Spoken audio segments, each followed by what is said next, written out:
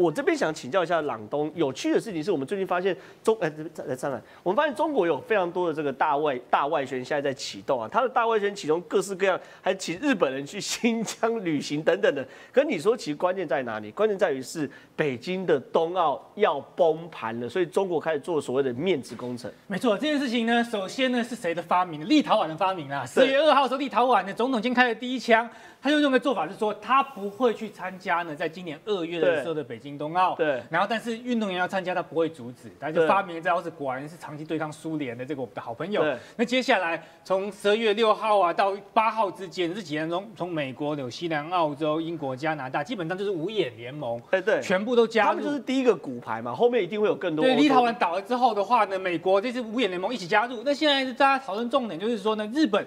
他还在考虑，那我刚刚都还在看的日本的这个雅虎，然后底下的这个民意基本上是一面倒九比一的，就是希望的日本人都不要派官员去参加。那不派官员参加是什么意思呢？就是说，在目前奥运来讲呢，政治当然不能在不能介入到直接他们自己的奥委会嘛，那所以他们不能阻止运动员参加了。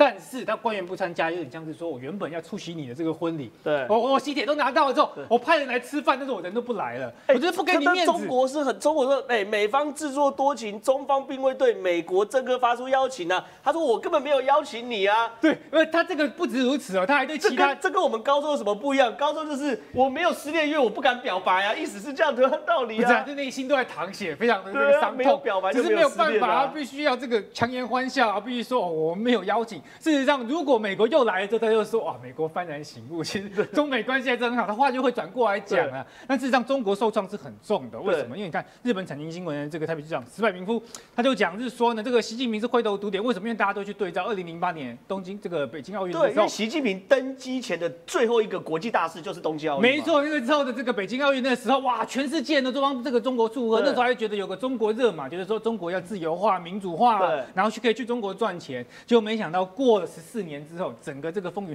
变成大家都看穿了中国共产党的一个真面目。那现在德国这边呢，他还是有点犹豫的，还没完全决定。但是也是有可能的话，朝向不派官员去看的进行。那中国他面对的一个四面楚歌，更包括是他现在就说什么哇，他要找日本人四百多个人 哦去呢这个新疆旅游，看什么美食美景美人。那我都不知道他是要看什么。我跟你讲，这到底是什么呢？这是日本版的海峡论坛，日本版的双城论坛啊，就会去找一些日本的这些亲中派。你看他平时在台日本只占这个十分之一不到，就是很孤独很痛苦。那所以。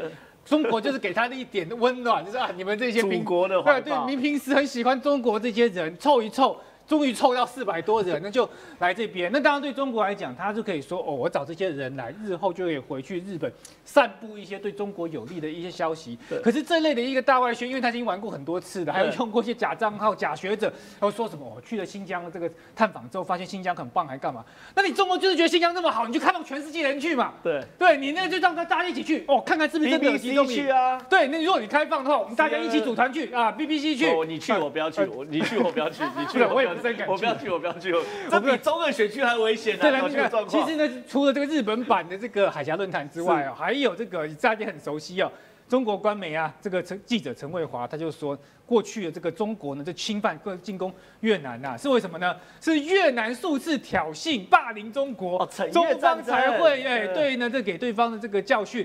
那这个必须要去讲，这个跟台湾状况一样嘛。对。然后说说这台湾挑衅中国，因为台湾就坚持自由民主，所以这个对中国来讲就是挑衅。因此他的意思是说什么？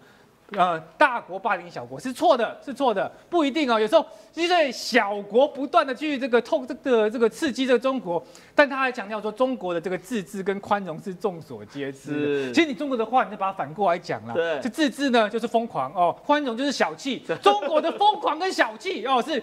众所皆知的，那接下来呢？这一段的话呢，这个意思可以跟今天一个消息，因为马英九他也去投书哦，他他难得去写，不知道是他亲笔写的啦，反正他也是说台湾民主有很多乱象，台湾很乱象，这跟中国做法一样嘛？什么一点五万字美国民主情况，然后批美国民主论论金钱政治，在站在一个些道德高位上说，哇，美国啊，这是有钱的人声音比较大，或者说单一选区的话，可能会有一些民意呢被忽视，就讲了一堆理由，说一些民主这些弊害。那你如果是一个很民民主的国家，你去自我检讨啊，大家这 没什么意见哦。对啊，你这原本拿九十分的，你就说哦，你剩下十分，你怎么没拿到？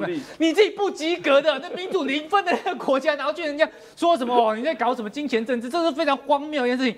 但这个做法的话，其实中国行之有年了，像是他们那个中国商人于平海，他办那个多维杂志，其实我买了很多期都在研究，它里面就有一堆专有名词跟废话，就是在讲是说，其实呢，我们有中国式的民主，对，比西方式的民主还要好，然后西方式民主很多缺点，它这个就是给。亲中的一些知识分子，一个自圆其说的一个说法。啊，就是说对一些知识分子来讲，亲中派。他有不同阶层的洗脑对对，他们他们如果比较普，就也就是比较没有那么多对会被美景美人利用的，那就去。哎就去这个旅游。看杂志的，看高就是要有学术对有学术涵养的，喜欢唠一些专有名词、学术术语的，他就会开发一套哦美国民主的线论。就看这种英文的推特。对对对，他有各种方方方式去做一个统战的一个效果，可是。纵观来讲，做了那么多，最后五眼联盟还是不甩你啊！现在欧盟还是在讨论说，是不是真的要去派官员去呢，给呢这个北京冬奥去做祝贺啊？所以中国它事实上呢，已经面对了一个呃四面楚歌的一个状况。